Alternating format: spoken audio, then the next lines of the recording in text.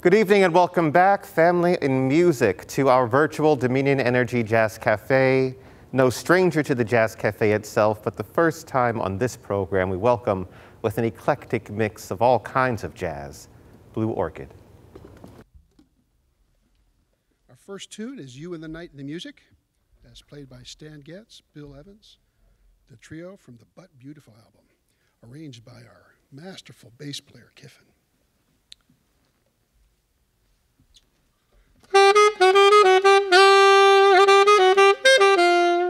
Our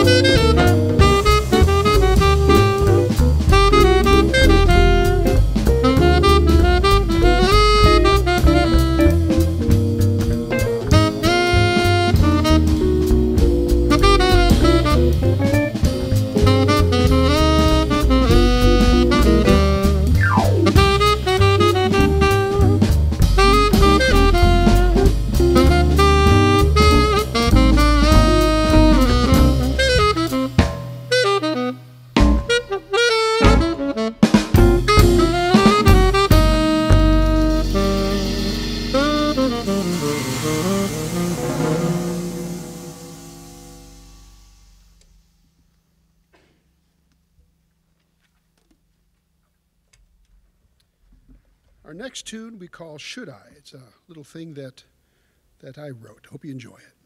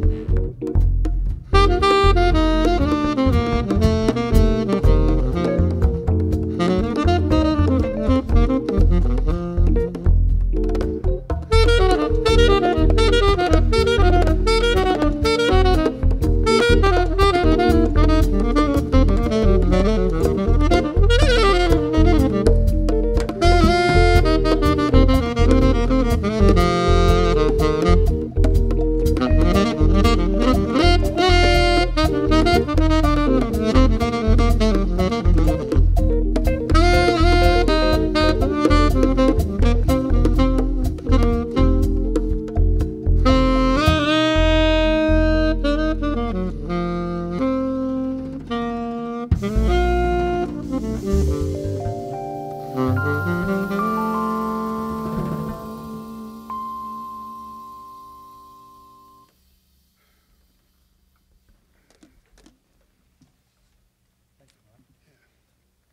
our next tune was written by our drummer, Patrick Zampetti. the name is Captain Blue for his buddy Rob.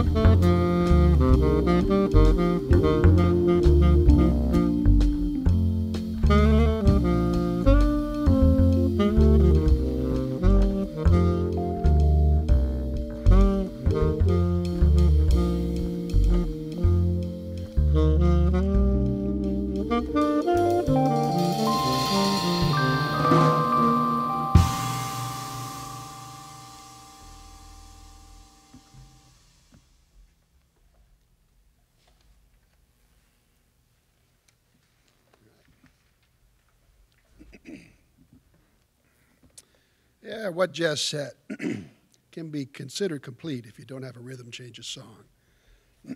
Here's something I wrote a few years ago called Bird Dog.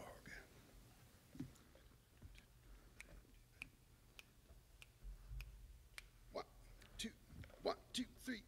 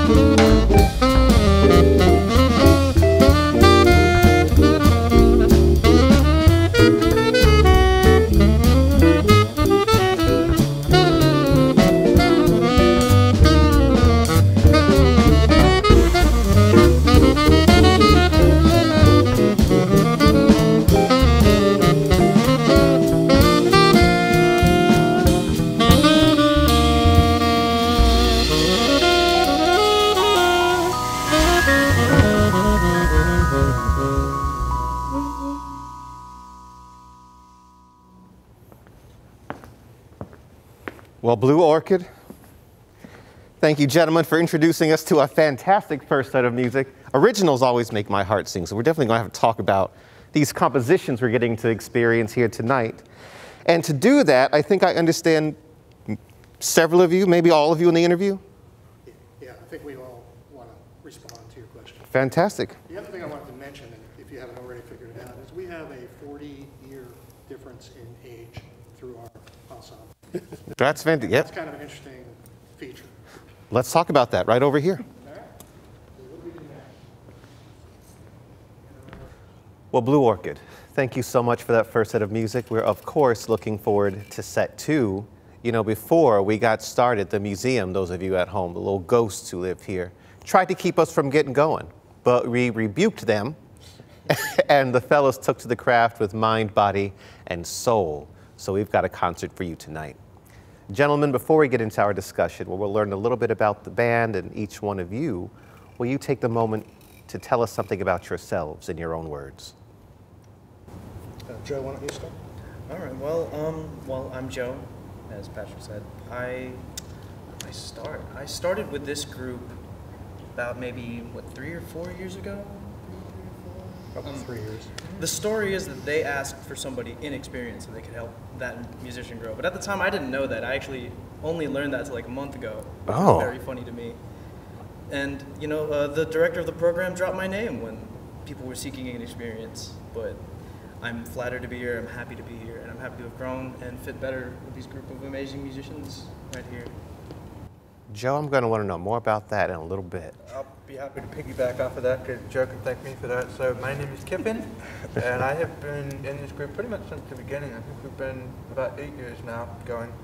Um, and it's evolved over time, and we've had uh, a couple of different piano players come with us throughout, um, throughout our time together. And when our previous pianist left, I wrote to the jazz director of VCU and I said, you know, I want somebody who can really grow up with us and take what they're learning from us and really use that to elevate their musicality. And so I asked for a couple of suggestions, and um, the director named Jo as one of those people. So we brought him in and ended up having a rehearsal with him and knew that we would be able to work well with him, uh, just as a person, but also as a musician. So Jo is now with us, and hopefully for a little while longer, or a lot, lot long longer. Wow. Um, my background, I started, oh my goodness, in 2004. Um, I was determined to play flute, but I am high, uh, piano impaired, high frequency. so I cannot hear the flute. Okay. the irony of being able to play a flute, but you can't hear the flute. So that didn't work out, needless to say. I ended up doing vocals for a while before settling on bass. Um, ended up picking up guitar, drums, piano, a couple other things along the way.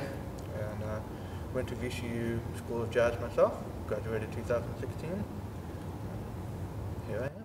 well, welcome to the stage. Thank you. Mark? Uh, I'm Myrick Crampton.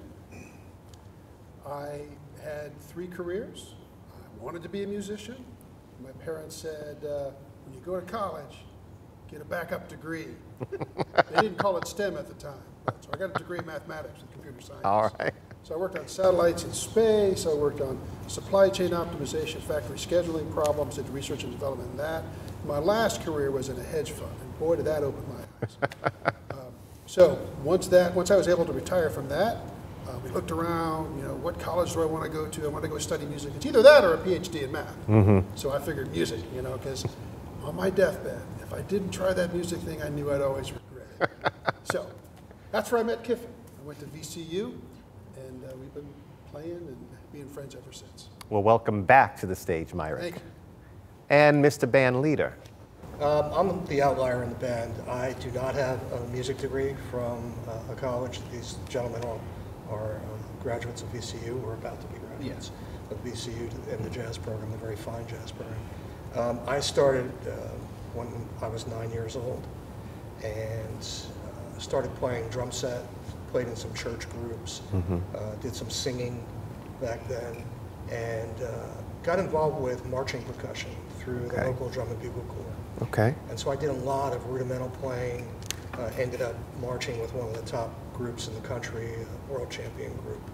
Um, after that was over, I took some uh, music lessons over at the Drummers Collective in Manhattan, Oh. where I was working at the time uh, with uh, the late Kim Plainfield and with Peter Erskine, who's one of my faves. Okay. And uh, then uh, the next phase of music was teaching marching bands, high schools, and eventually UVA's marching band, which I taught for eight years.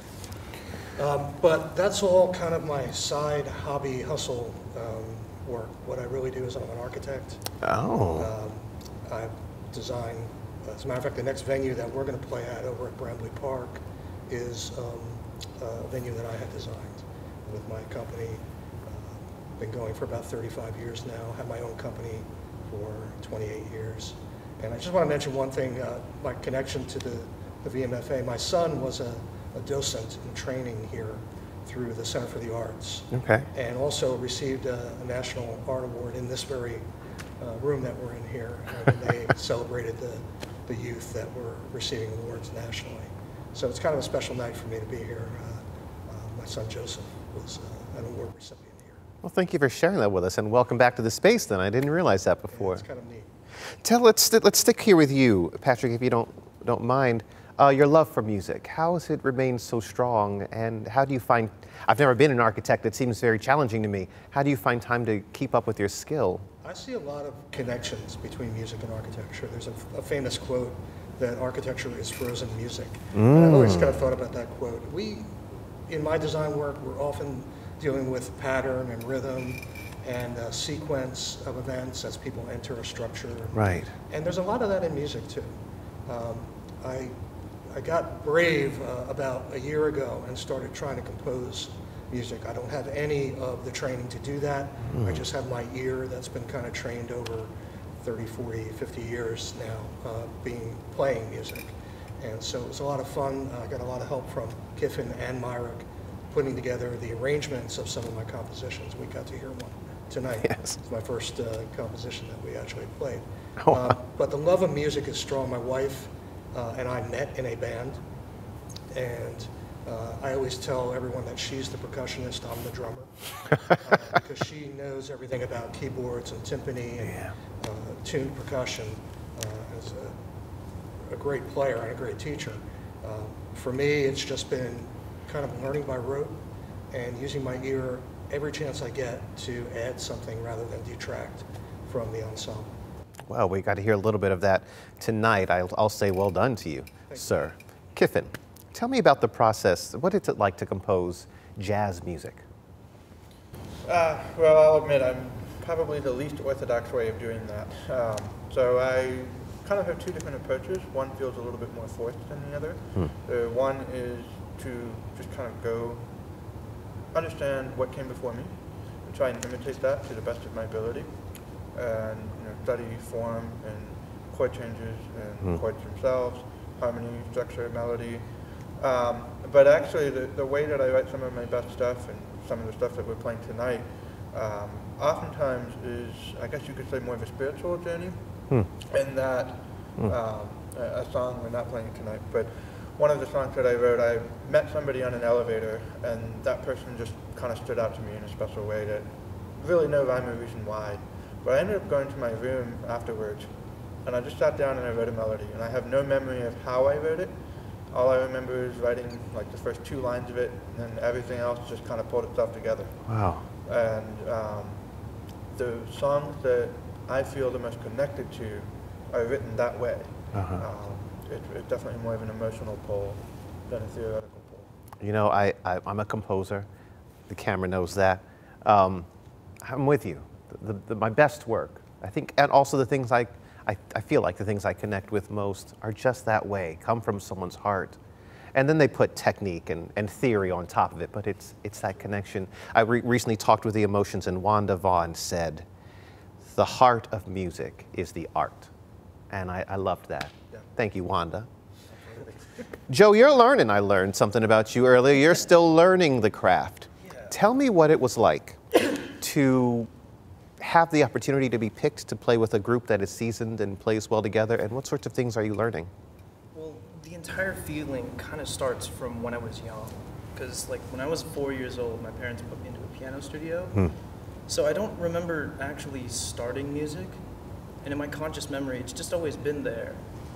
And from what I remember, being it was definitely more classical based my mm, training. And I remember feeling like I had the talent and I had the skill, but I knew in my heart that it wasn't exactly where I belonged.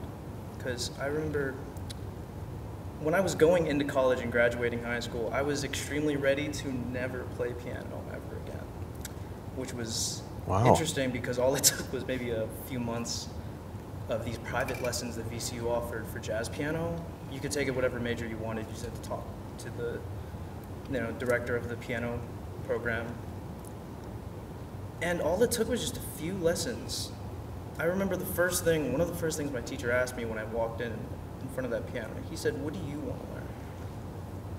And just in that one sentence, I just it started to build, and I was like, I realized I could do whatever I wanted with what I already have. And music had always been something that I was just doing for either my parents or my teacher, and not never, very rarely for myself. But I had all this experience, I had all this music, I had all this love in my heart for it that I was almost ignoring. And the key to unlocking it was learning that I could do whatever I wanted with it. Hmm. And it's been a lot of bravery. It's, it hasn't been just learning music, learning piano, learning chord changes. It's been getting out there and taking my chances hmm. and trying less to be shy and trying to talk more on camera, maybe. It's, it's been good. And these guys were here at a very, very um, early period of that because I don't even remember being able to comfortably solo hmm. when they hmm. first asked. But I was like, we're going to try it today. This is going to be great. And here I am. What was it about this young man here that made him the selection? You- You had several to choose from. What got Jo the gig? Well, it, I really wanted somebody who I knew would benefit. And the backstory behind that was when I was first hired by the original piano player, um, Patrick, that I was kind of very much in the same position as Jo. I was a sophomore at VCU at that point, and um, had never really had any kind of performance opportunity. I played in a high school big band, but it wasn't. Uh, there wasn't a lot of personal growth in that group. And by playing with both Patrick and the other guy, Alex, uh, I started having more personal growth. Hmm. Uh, um, not only as a musician, but as a person as well, and as a businessman, hmm. and as a role model. And so after I graduated, I realized that I was pulling so much from that that it would be a shame to not have somebody else be able to experience that too. Mm-hmm, mm-hmm. And so that was really my goal. I wanted intentionally to start with somebody who hadn't had very much exposure to playing out so that they could develop into whatever person they wanted to be as a musician and as a person. That's really beautiful, uh, Kyffin. I, I talk a lot on this program that, about great educators making all the difference in the world, a great education, the way you respond to that education. And to your point, realizing you had an experience younger and you want to pass that on. I think about being younger than Jo, high school and younger, and the experiences I had that led me to this conversation we're having now. Well done, for sure. We didn't forget about you, Myrick. Oh, good. Tell me what it's like playing with these guys. Oh, it's, it's fun because uh, when, when I compose and I arrange, I look for moments, um, special moments, and I look for, for complex emotions.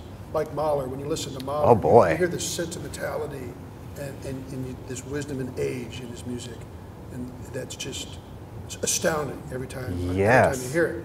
And so guys like that are the guys that can create these moments in the music that just, you know, the hair on your arms goes mm-hmm. up and you feel the sense of awe.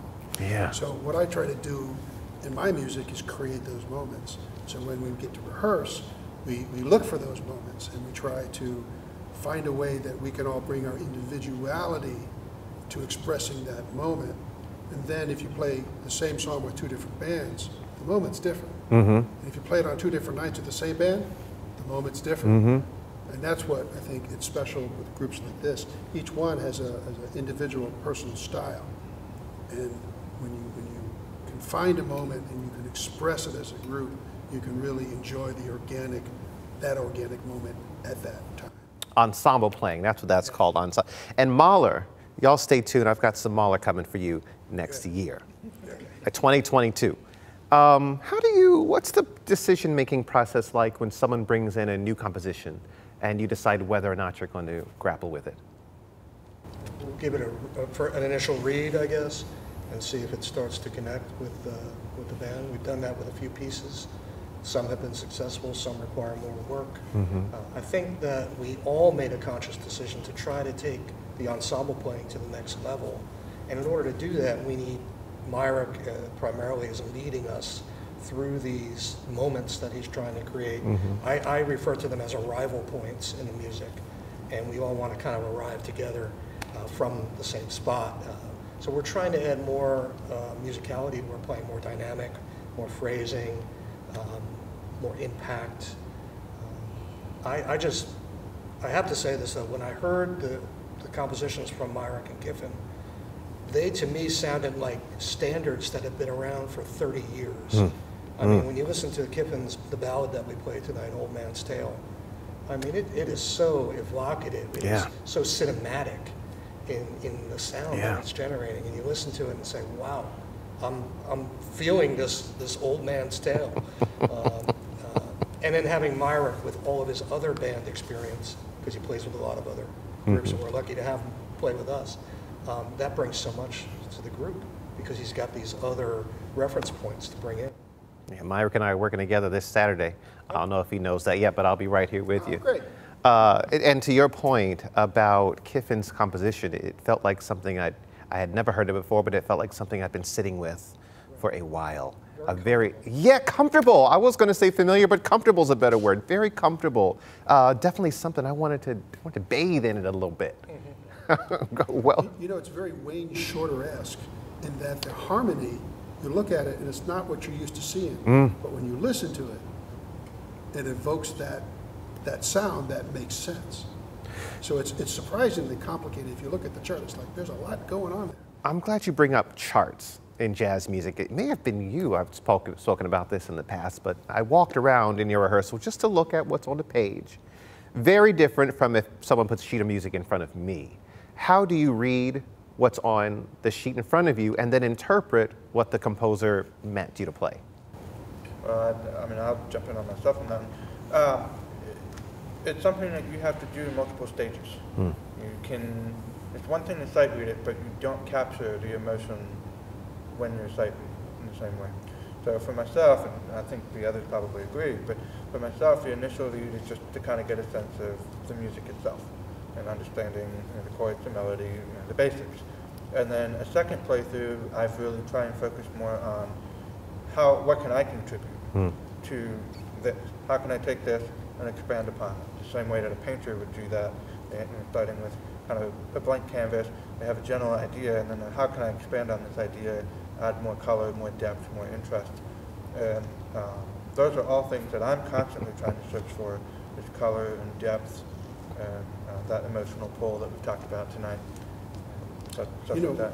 sorry to but another thing in jazz music, um, Doug Richards at VCU hmm. was, was a tremendous inspiration to hmm. me, as was Tony Garcia, hmm. and J.C. Kuhl, and mm-hmm. Skip Gailes, and all those guys were oh, boy. But one of the things that Doug would talk to us, talk to all the jazz students about, is when Duke Ellington wrote his music, he would put the name of the player on the score. It's not just trumpet three Yeah. it's so and so. And so that's the same thing that I do and with, with these kinds of charts. When I think of who's going to play this chart, I think Jo's on piano.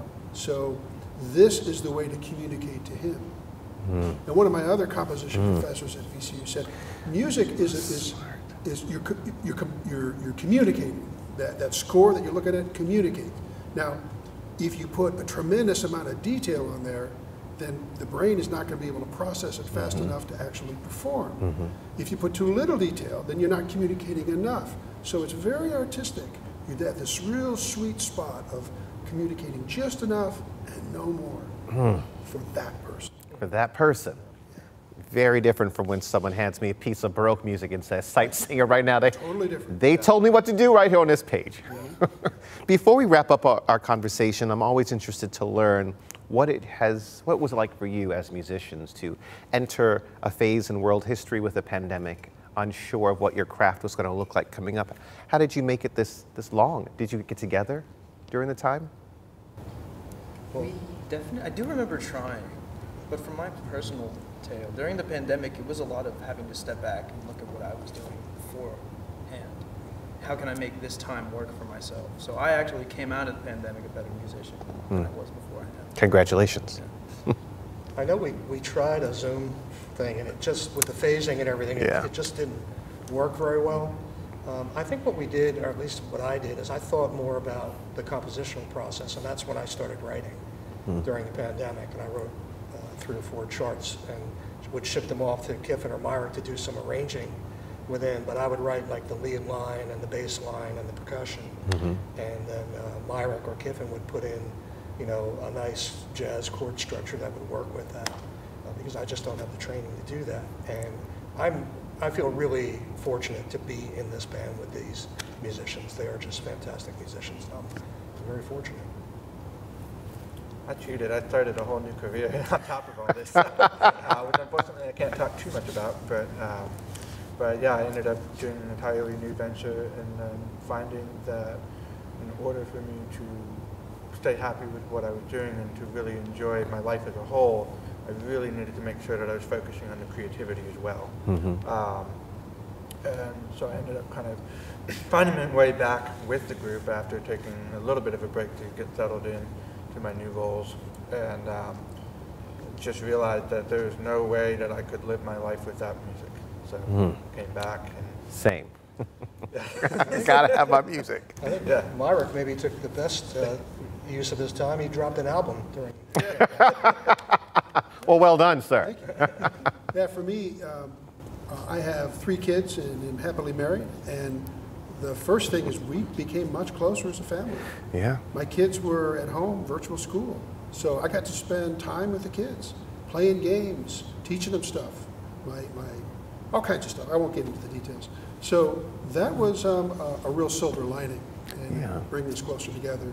And we all pitched in as a family to work to work closer as a family and achieve things as a family. That really wasn't our focus before that. And then the other thing, of course, I spent, I, like I have like three more gigs this weekend. So I mean, when when the gigs are when, when everything's open and the gigs are happening, it's like gig gig gig business Yeah. business business. jump on it. So when the when, when the, the pandemic was here, I didn't have any gigs for a year.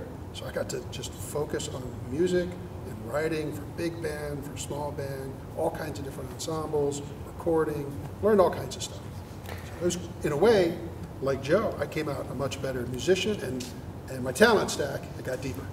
Yeah, I'm, I'm talking about gigs coming up. It's one of my great joys to be doing this, to provide a gig Yeah. every once in a while for somebody who can play. Well, thank you all. I've talked enough.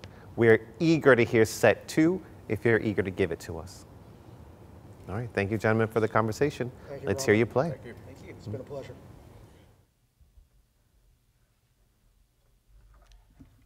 We're going to start the second set with a Sam Rivers tune called Beatrice.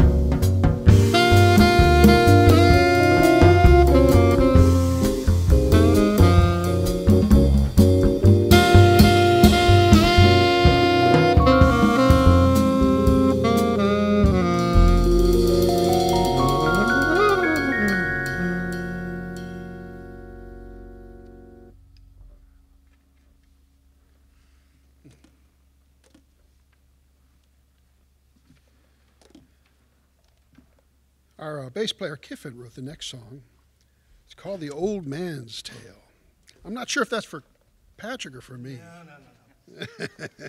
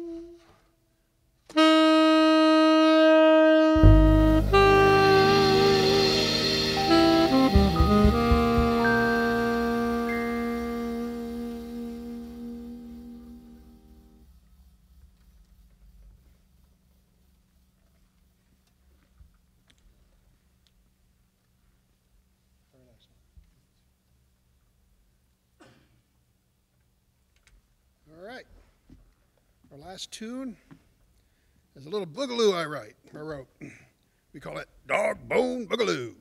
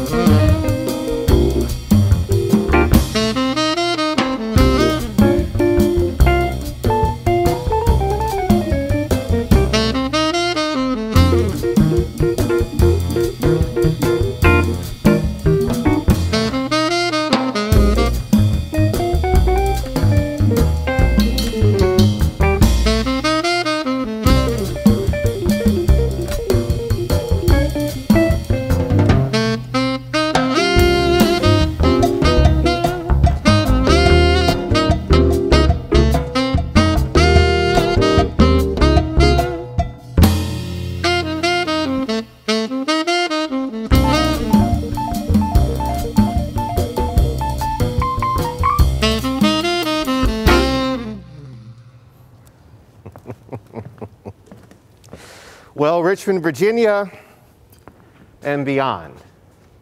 Thank you for joining us for another evening in a, a time of year where days become shorter and the heat is beginning to fade. Thank you, Blue Orchid, for reminding us that jazz is still hot we can still warm ourselves up by the fire of this craft we call music.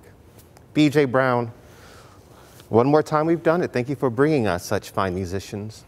Dominion Energy, thank you for allowing us, in your way, to keep this production going. Remember Tommy Productions on the other end of those cameras. They're here again. See, not used to my mask yet, again, folks. And of course, Chris is up in that booth, mixing the sounds we hear. Those of you at home, thank you for loving with us. Thank you for listening to us. And thank you for learning from us in Richmond, Virginia, from the Virginia Museum of Fine Arts on the Leslie Cheek Theater State. This thing has come down. This has been our virtual Dominion Energy Jazz Cafe.